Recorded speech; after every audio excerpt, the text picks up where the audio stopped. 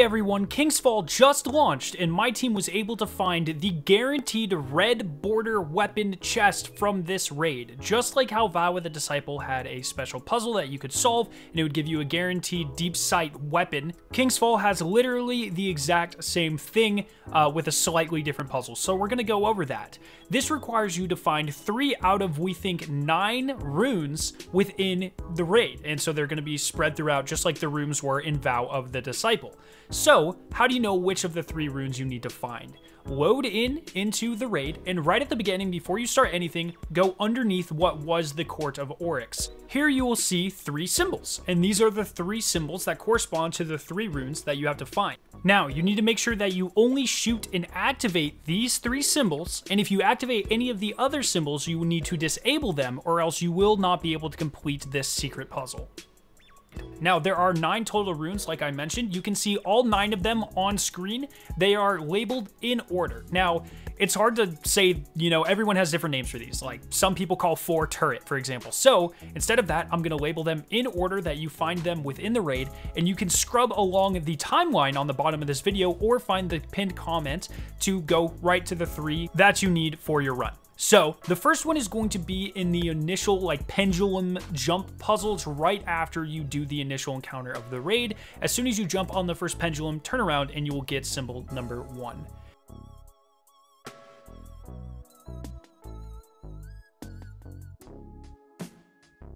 The second symbol is going to be in the first secret chest. So this is in the like Hive Tomb Ship jump puzzle. This is where your first secret chest of this is. It's the same as it was in Destiny 1, but once you get to the first secret chest, turn around and you will see this symbol above the doorway. The third one is going to be within the totems encounter. Go ahead and complete the encounter. Then inside of the left room, jump exactly where I do and you can see symbol number three.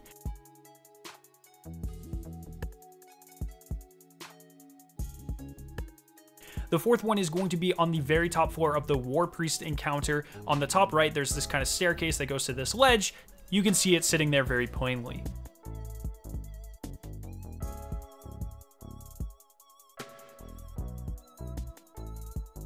Next, you're to go on throughout the maze, and at the very end of the maze, there will be a final hole. Jump over the hole, turn around, and you will find symbol number five. Then go into the Golgoroth encounter, jump down and look beneath the lower left ledge where most people used to do the one orb strategy. That's where you're to find symbol number six.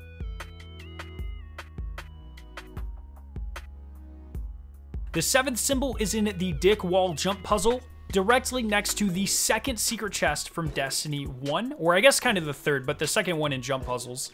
Then at the very end of the Dick Wall jump puzzle, you will find symbol number 8, uh, kind of on the roof right where you are standing.